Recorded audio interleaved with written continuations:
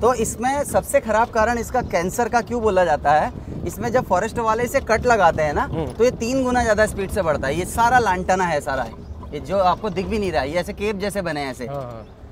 भाई इसे हटाने के लिए पता हर साल गवर्नमेंट को मैन पावर लेबर लगानी पड़ती है। हाँ। और इसे जड़ से उखाड़ना पड़ता है। और इसकी जड़ को भी पता है नीचे नहीं लगने देते हैं। अच्छा। उल्टा गोल गोल केप बनाता है ना इसके नीचे दूसरा वेजिटेबल नहीं उगता है। और इसका सबसे खराब कारण इसमें जो ब्लैक ब्लैक कलर के दाने लगते हैं हम्म। बर्ड या मंकी जब इसे खाते हैं वो जहाँ शिट करते हैं वहाँ पे भी उग जाता है। अच्छा तो ग्रो जल्दी करता होगा। बिल्कुल।